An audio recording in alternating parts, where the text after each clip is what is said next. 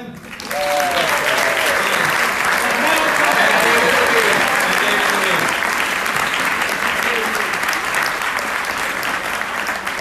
actor, Asia Kate Dillon.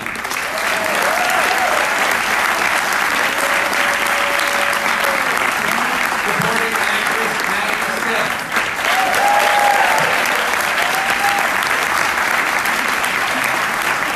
Lead actor, Damian Lewis.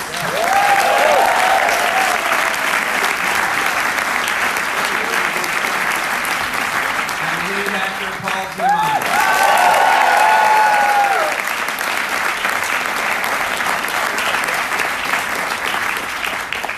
The first thing I'm going to say is um, I know everybody here has seen the final episode of this season, but there are live streamers right now. Everybody has been, everybody up here on the stage has been told not to ruin the last episode, but I'm not going to, you know, I'm not going to enforce that. So if you're watching at home and you have not seen the last episode and you really, really don't want to find out what happens in the last episode, don't watch the rest of the live stream. Just because I'm not gonna. If they want to talk about the last episode, I'm not gonna stop them, even though they've been told by their boss not to talk about the last episode. I'm gonna try really hard to stop. So first of all, thank you so much for an amazing season. Wow, it was really just it's great.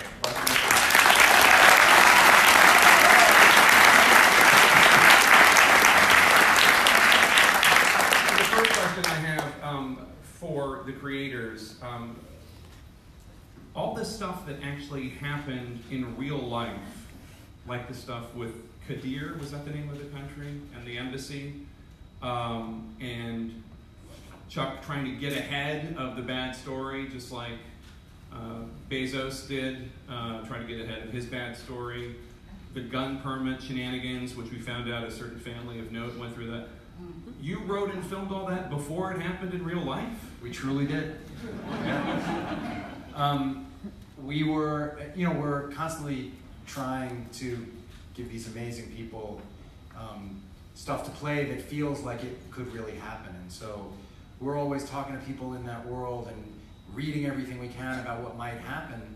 And the embassy thing, you know, we, um, we were aware of the sovereignty of embassies. We were aware of what the law can and can't do if somebody's in an embassy. And it seemed logical to us that that kind of thing could happen. Look, the tragedy of Khashoggi is, is, is just so beyond terrible that it so outweighs the sort of the coincidence thing. But we were, we did in fact write and shoot that before, and none of us had any idea that thing would happen with uh, Jeff Bezos until, and, and uh, only after when that happened, we realized, unlike the Khashoggi thing, we realized, well, that's hilarious. and, and wonderful that we were able to, to do it. So we just somehow are, all of us are somehow just tied into the way the people in this world think and act. The, the kinds of things that most of us wouldn't think to do, um, we've learned that they very well might. You want to add anything? I think that was a great answer. Um, Paul and Damian, I understand that before you two have a scene with the other, you kind of have to psych yourselves up a bit to be in that scene with the other because you play off each other so much. What, what is it? That's what I was told anyway. Paul, what is it about Damian that that you Look at, look at him. Irritates me. Yeah, but my God, look at him. I mean, it, it, it, I knew him a little bit before anyway, so I, I, you know, I mean, we do, I suppose we do get psyched up. The scenes are very energizing that we have to do together. So they're already kind of like, we're already kind of up and ready to go. This season was a little bit different because we were pals, sort of, a little bit more. So it was actually nice. Speak for yourself. to have oh it was actually nice to have a little bit of a different dynamic and and but uh, we have a lot of fun Yeah. together Yeah. the scenes are fun but i also enjoy being around him is there stuff that Paul does that, that you There's a there's a there's an odd vocal warm up that he does occasionally. He just. I, Let's do a fart noise my acting with and action. yes i punctuate my acting with with flatulence We like to do. it It helps me know where I am in the scene and where I am on set. So I do a lot of like, Bobby, I'm coming after you as I get out. that's when I get up. and I'll remember. So I mark through the scene with Fletch. Yeah. We found your Emmy acceptance speech. You found my Emmy acceptance speech. Thank you. And, and I, and I know when the scene is about to start. I, I just hear Paul coming along the corridor. Uh-huh. And action. Find it very helpful.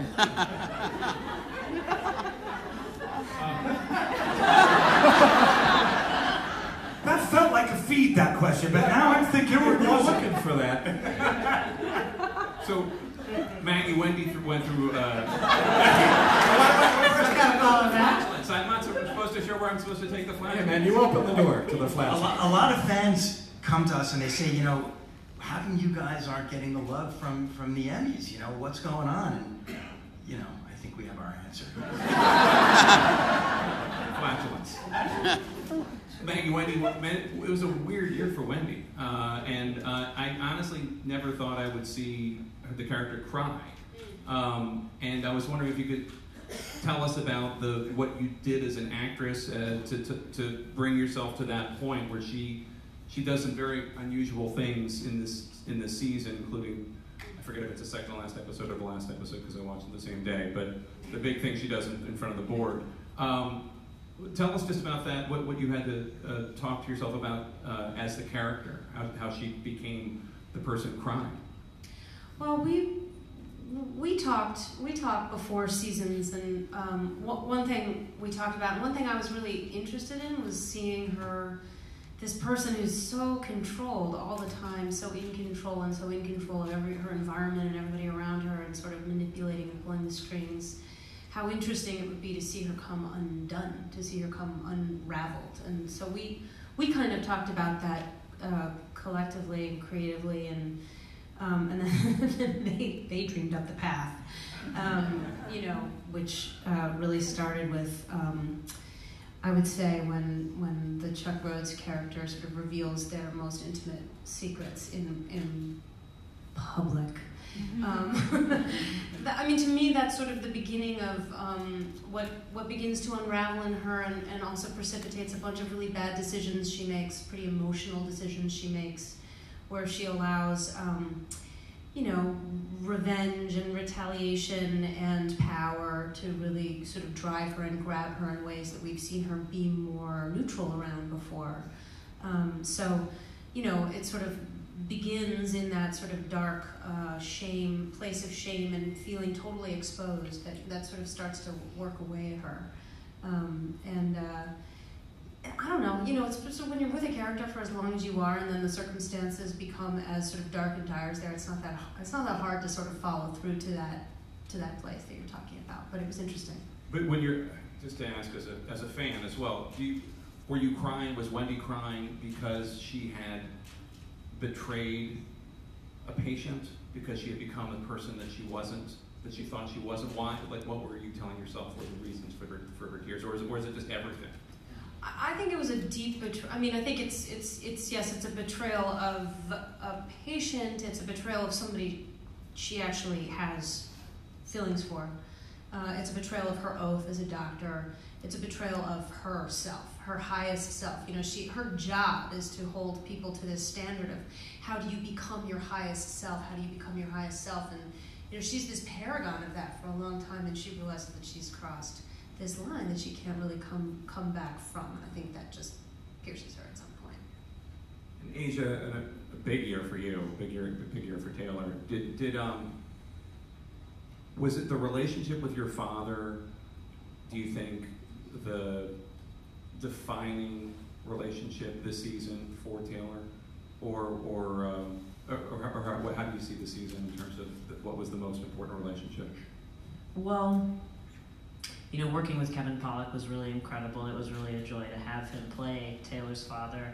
You know, um, going back to season two, in a session that Taylor has with Wendy, it is revealed that Taylor believes that you know their father had this idea and you know wasn't appreciated by their company and was ultimately fired, and the idea was stolen by the company. Um, and I think Taylor has built uh, the majority of their own sense of who their father is, who their relationship with their father is, and therefore who they are around that story. And so when we find out in season four that that is not actually the case, I think um, it, there is yet another betrayal of, of trust and loyalty, which echoes the betrayal that happened with Axe in season three. And so I think Taylor is really forced to reckon with the fact that the story they've told themselves about not only their father and their relationship, but their own life and why they're doing what they're doing, what their motivations are. Um, they're really forced to reckon with all of that. And so for me as an actor, it was just really fun to, to play all of those moments.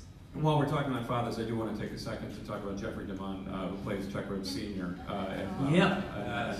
uh, and uh, He's a man. He's a man. my understanding is that when you found out that he was going to be cast as your father, you were just like, he's my hero. He kind of was a hero of mine. Yeah, I mean, I'd seen him for years on stage in New York, and these guys found him and they said, you know, they were going to big stars we found the perfect guy, Jeff DeMunn, and I, I couldn't. I had. You said you said this. Who told you that I love him? Yeah, I was like, And we were like, nobody. know? But I also, I mean, it's it's a wonderful thing because I have this kind of sense of like, uh, he's overpowering to me when I see him as my father, but as the actor too, I can't believe I'm standing there acting with him because I just work. He's an amazing actor and an amazing guy, and I've loved him for years. So it's a wonderful thing to have him be my father. And he seems so naturally like naturally like some Amazing. CEO, skull and bonesman. Totally. That that you. But you tell me he like he's like an artist who lives in the woods. Yeah. He's Oh, nothing. yeah. He's nothing about No, nothing. He's a, a lifelong theater actor and obviously movies and TV shows as well, but like a bohemian guy. Yeah, No, at, oh, he's nothing like. at table reads, you know, I'm like, Jeff, what's up? What, what are you doing? And he's like, oh, I just took the train in. I was felling trees in my yard. Yeah, he's always like. That's great. Yeah, I do think it's easy for people to watch the show and sort of think, well, that guy must just be like that guy. But he's, in fact, he's completely playing a character. Oh, totally. Oh, absolutely. Nothing like him. Nothing like him. I mean, as opposed to Damian, who's just, you know. trotting out, trotting out the same old thing. Series after series. Oh, yeah. Damian, let me let me ask you when when you get into the mind of Bobby. See you in the bar, when you get into the mind of that Bobby Axelrod, are you a good guy? Do you think you are a good guy? Do you think you're a hero when you're in that zone? Well, um, there are two things an actor must know when they take on a role. Uh, one is that you must love your character. You must love your character unequivocally and without judgment. And know that every action that you take is the right action for you. But you must also know the story that you are telling. And there is a nexus where those two things cross and they meet, and that's the moment that is most interesting for you as an actor.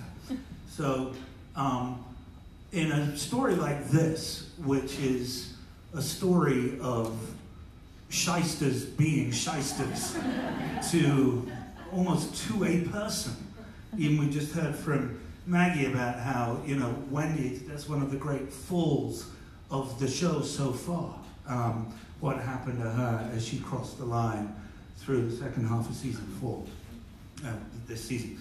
Um, so everyone has been corrupted in this world. So, but it's it's not a white and black world. It's a it's a world of grey. It's a world of compromise, of obfuscation.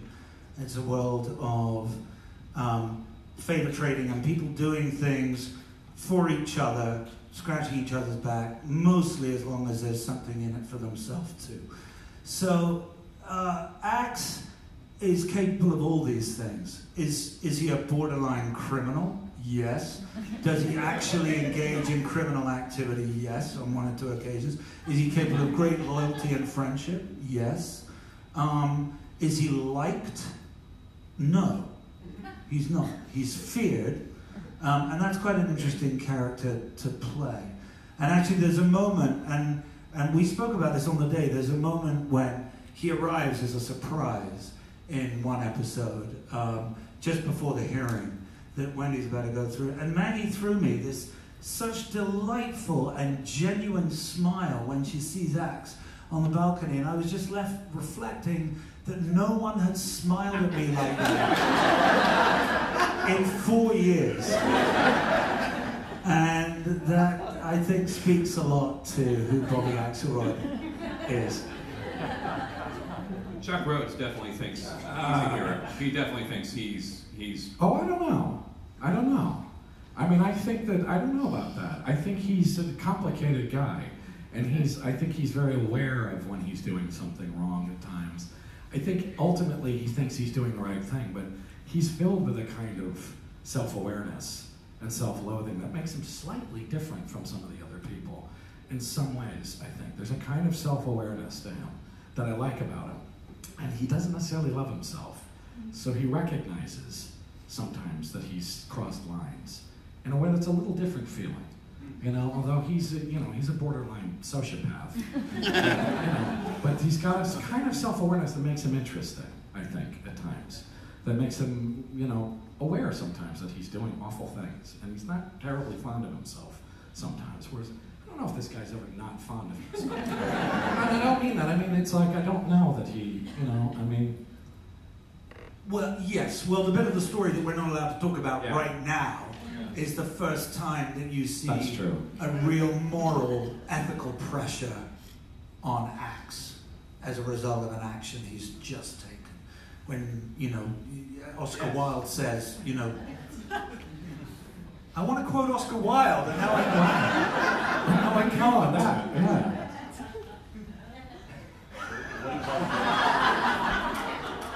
Well, I was going to, but it's a little revealing, so you'll just have to trust I do know this Oscar Wilde. I'm not going to say it. But it's true of billions the whole way through. You kill, he said, you kill the thing you love.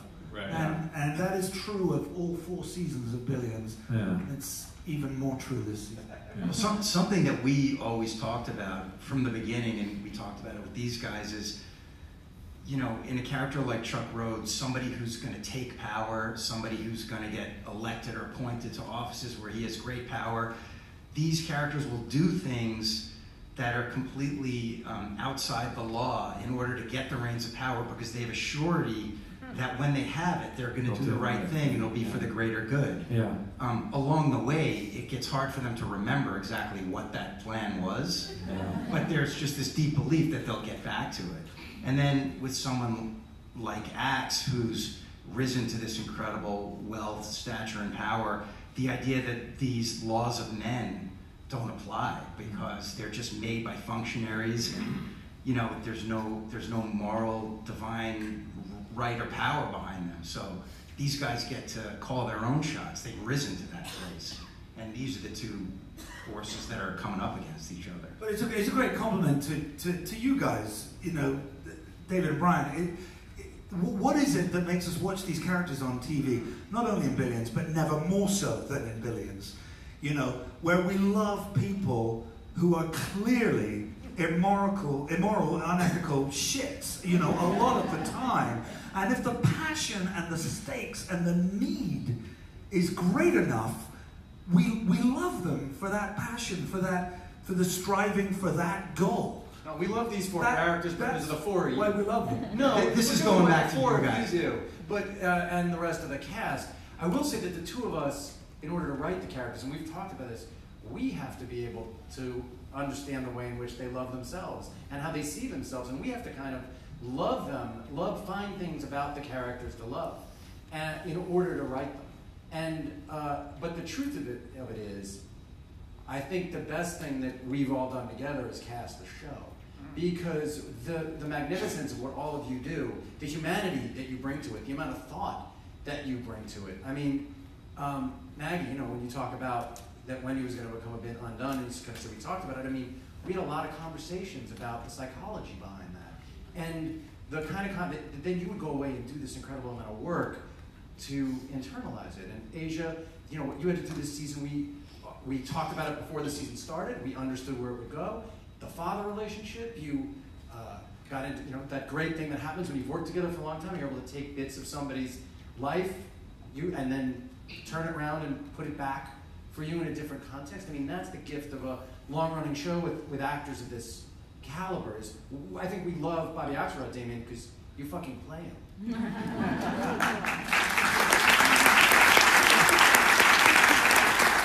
I couldn't be the one to say that, but it, I wanted to.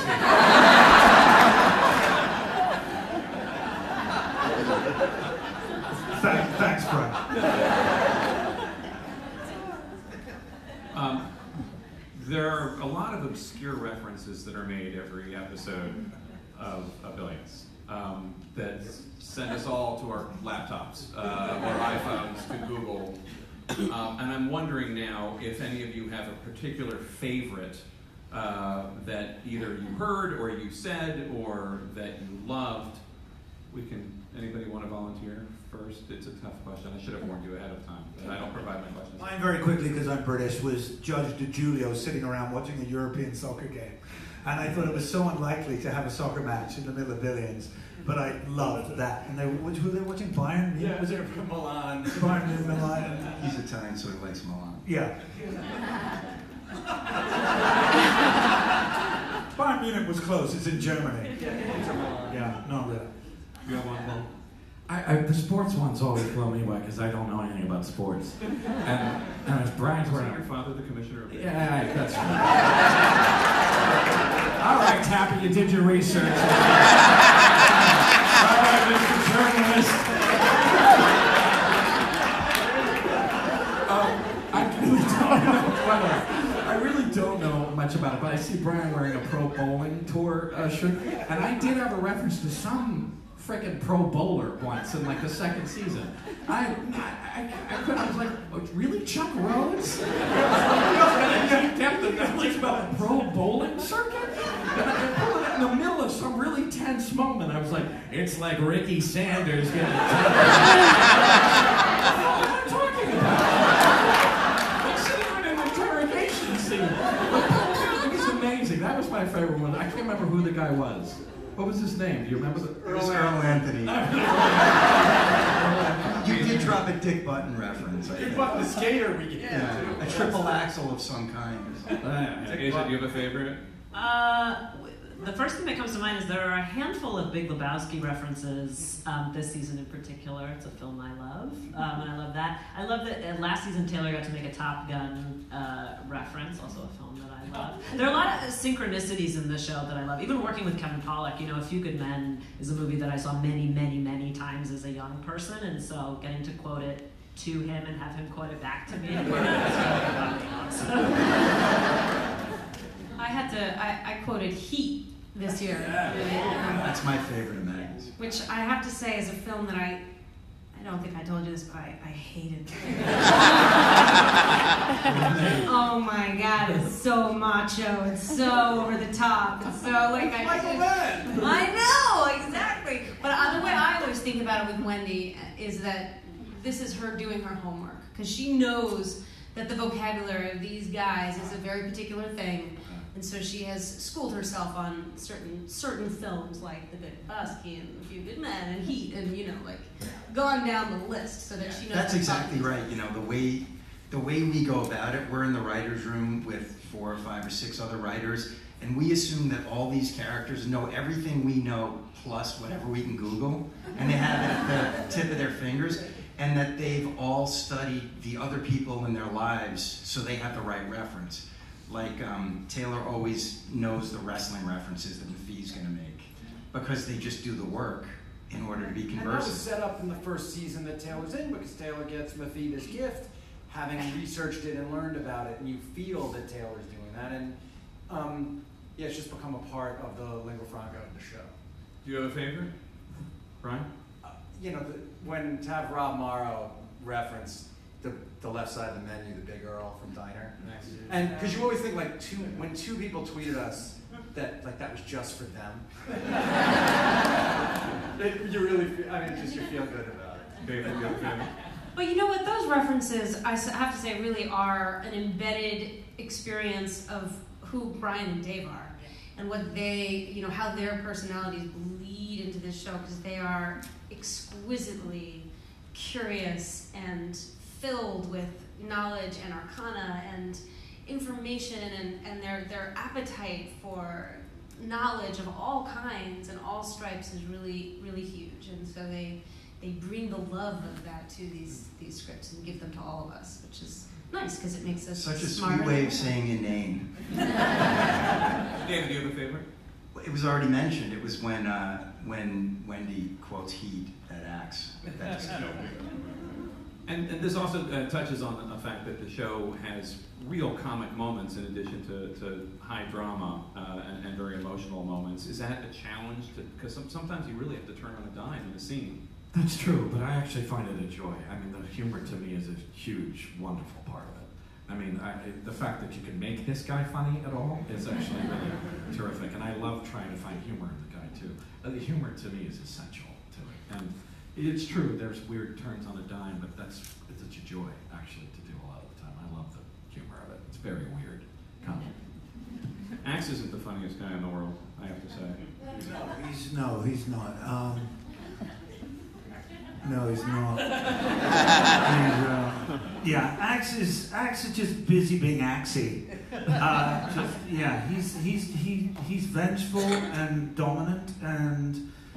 Um, he's a scrapper, and he's, you know, he's he is some kind of embodiment of the American dream, the blue collar guy who, who's an alley cat and came up and used street smarts and got rich. And you know, sometimes I get the sense sometimes here in the U.S. that it doesn't matter how you get rich.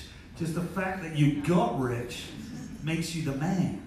And Axe is definitely the man in this. I don't know what would lead you to say that. I say it politely as a guest in your company. Um, you talk more positively about Axe than anyone.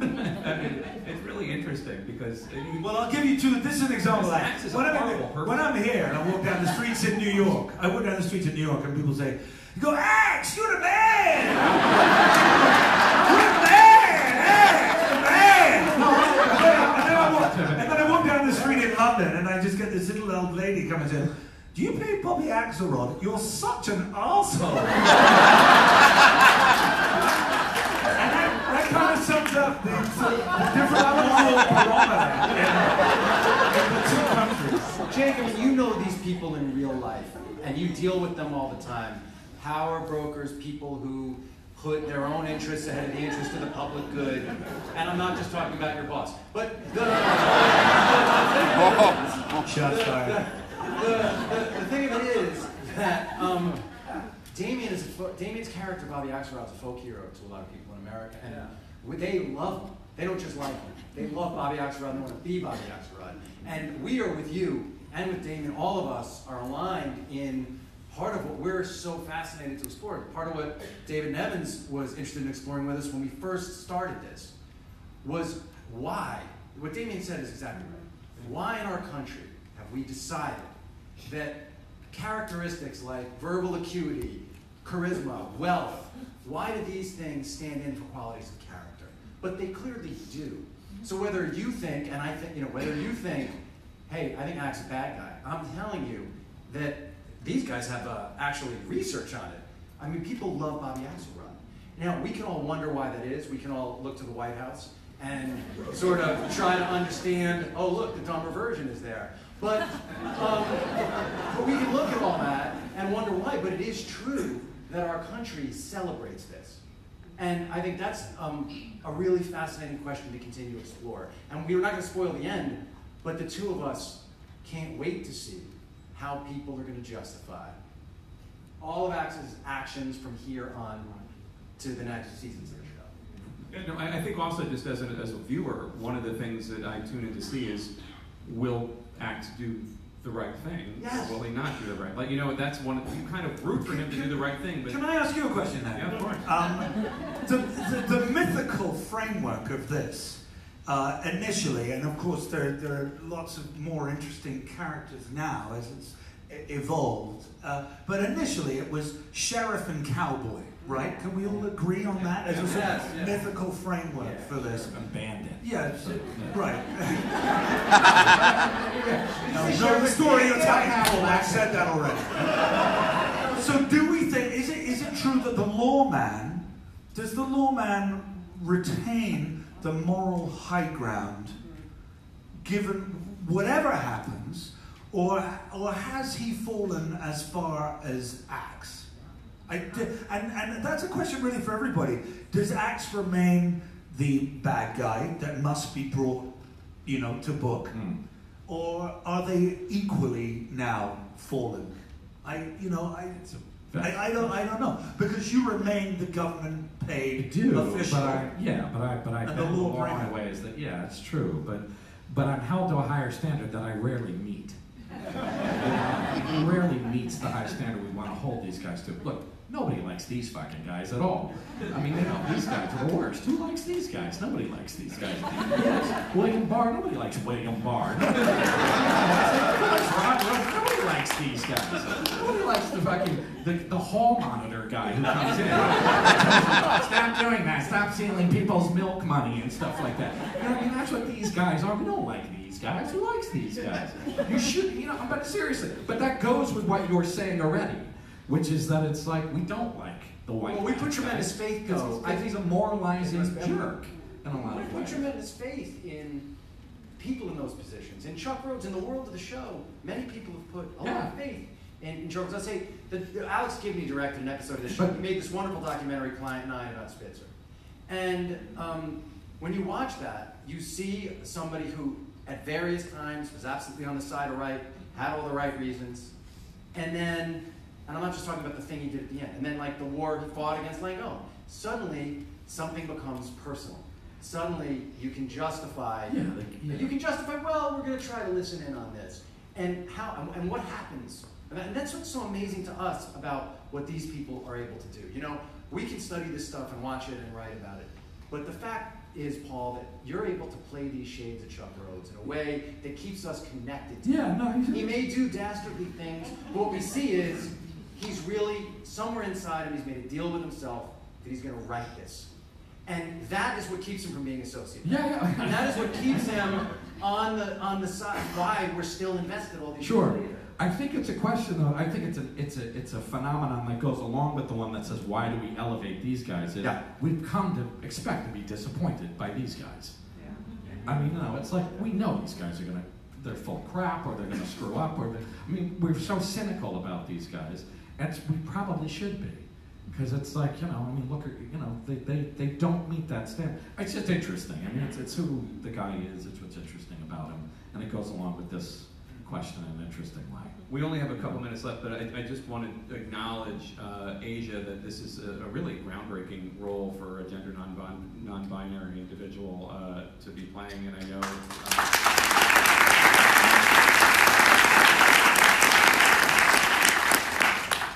and I know that's not why you do it, and that's not why we enjoy it. But could you talk about that just for a second? If, if you put the, the, the position you've been put in because of this status.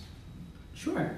Um, well, thank you for saying that. Um, you know, I am, as far as we all know, the first non binary identifying actor to play a non binary identifying character on a show, and so I'm, I'm very proud of that. And I know when Brian and David created the character, they had assumed someone had already done it, or they certainly weren't doing it to. Um, to try and inject some sort of like liberal moral representation into the show that would be um, a one-off or even the primary sentiment of what that character would offer and that's the reason i wanted to play the character is this is a multi-dimensional person who um, is integral to the to the plot of the show and um, that that's why i'm particularly proud to play the character of taylor and i think that it's been um, incredibly gratifying and an unseen silver lining that the show has become sort of a teaching tool for people about gender identity. You know, people who say, I, I didn't know anything about this, and or even I was transphobic or homophobic, but I love the show and I love your character and I wish you the best. And that's, um,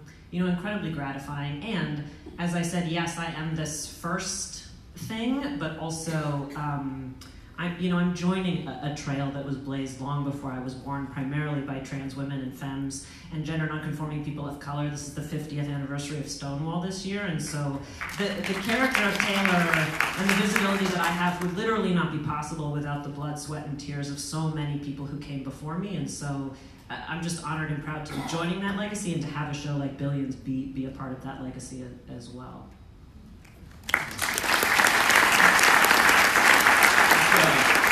That's all the time. I could really do this for another five hours, uh, but that's all the time we have. I just want to thank them for their generosity.